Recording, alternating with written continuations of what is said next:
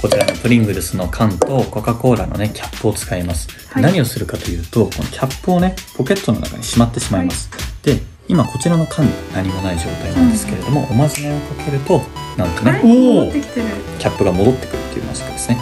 もう一度いきますね。うん。中に入れます。でポケットの中にしまいます。はい。で今こちらには何もない状態ですね。はい。おまじないをかけると元に戻ってくるっていうマジックですね。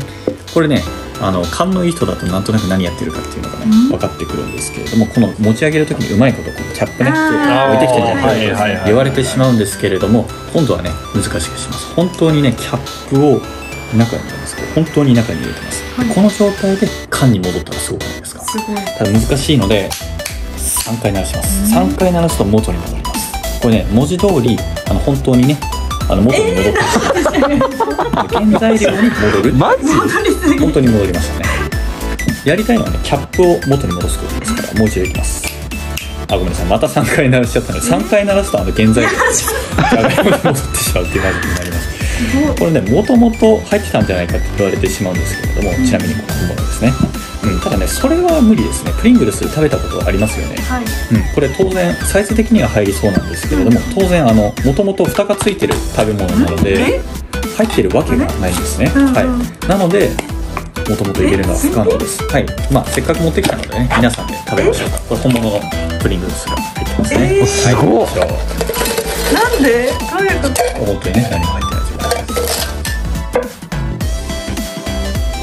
どうもひろむです。今回はしょぼいかと思いきや最後に大同年会誌があるっていうマジックの解説をしていきます。えこれはですねもともとカップボールっていうね世界で一番古いんじゃないかって言われているマジックの一つと言われているもののアレンジになります。YouTube でね解説されていたものを参考にさせていただきました。え用意するのはですねこれくらいの筒状のねお菓子を2つ用意します。であとは適当なペットボトルのキャップそしてじゃがいも2つですね。あのプリングルスを使えばじゃがいもが出てくる理由付けにもなるので自然です。別にじゃがいもじゃなくてもねこの筒状のお菓子に入るものだったら別に何でも大丈夫です。最後の演出としてキャップが戻るのではなくて戻りすぎて原材料のじゃがいもに戻る。戻りすぎて新品のね未開封の状態に戻ってしまうっていう流れを組んでいます。なのでね別にあのピエンとかでも全然大丈夫です。必ずねキャップよりも大きいものにするようにしてください。そうじゃないとね最後のインパクトが薄れてしまいます。そういえば皆さんは推しのお菓子とかありますか？ぜひねコメントの方で皆さんのおすすめ教えてください。僕はね今ねちなみに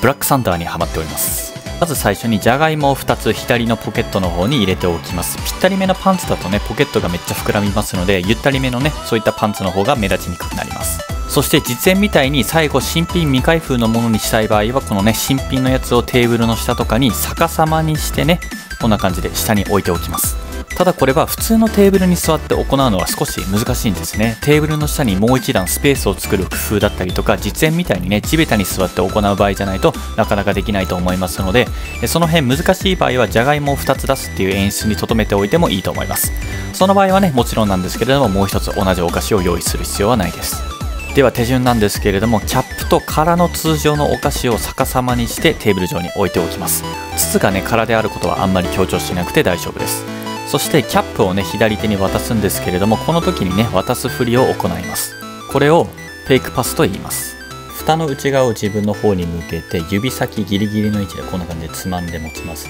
えそしたらですね反対の手に渡す時に親指でクイッとやるとねキャップが内側に来ますのでそのまま手の中に移動させて握ったふりを行います。このねキャップが手の隙間からこうやってね向こう側が見える状態で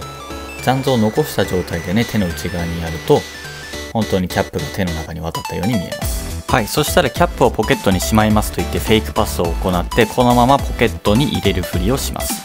でこの時ね手は軽くポケットに突っ込んだままにしておきます。キャップを手に隠し持ったままの状態で筒を持ち上げるんですけれどもこの持ち上げる時にキャップをそのまま机の上に置きながら筒を持ち上げるとポケットからこちらに瞬間的に移動したように見えます。そして大事なのがこの筒をね持ち上げたらそのまま手を突っ込んでいるポケットの方に近づけて左手で持ちます。そしてまた右手に渡してキャップを横にずらして筒をテーブルの上に置く。この動きで必ずやるようにしてください。筒を持ち上げる時にこんな感じでね持ち上げた位置からずれているとおかしいことになりますので正面の位置から持ち上げるようにするとあんまり違和感がなくなります。このキャップが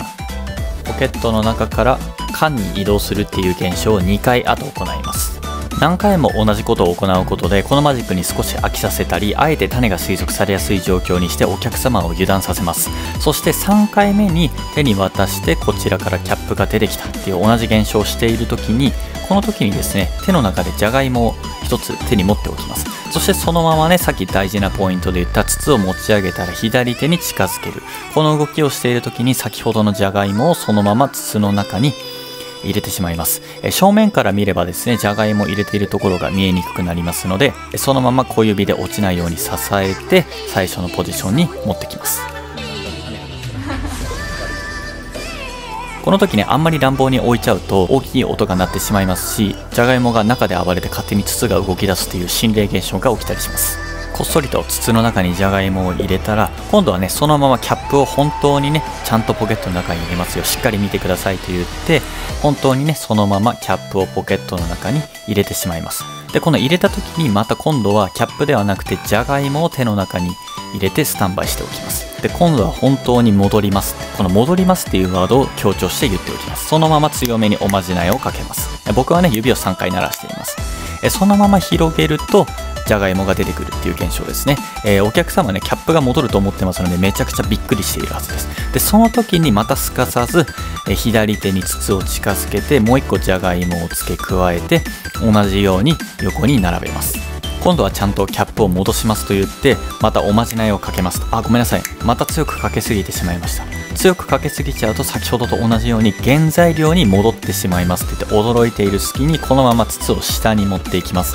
下に持っていって新しいね先ほど最初に用意した新品のお菓子と入れ替えてそのまま自然と手を上に持ってきます。お客様は2個目の現象が起きていますのでめちゃくちゃびっくりしていますので、まあ、堂々とすり替えてもここは気づかれにくいです。この時にですね、まあ、物によるんですけれども、えプリングルスはね、こんな感じで、ベロの部分が、赤い部分がこんな感じでね、見えてますので、まあ、できるだけ見えないように僕はね、指で押さえたりしています。そして、もともと入ってたんじゃないかとか、いろいろ言われるんですけれども、サイズ的には可能なんですけれども、無理なんですよ。なぜならと言って、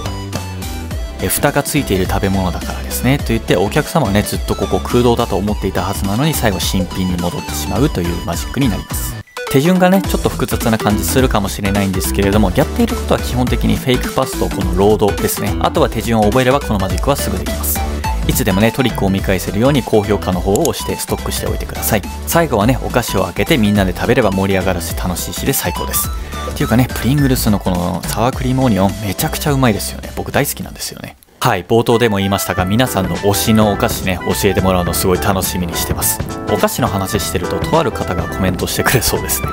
次もね、めっちゃいいマジック紹介していきますので、チャンネル登録して楽しみに待っていてください。バイバイ。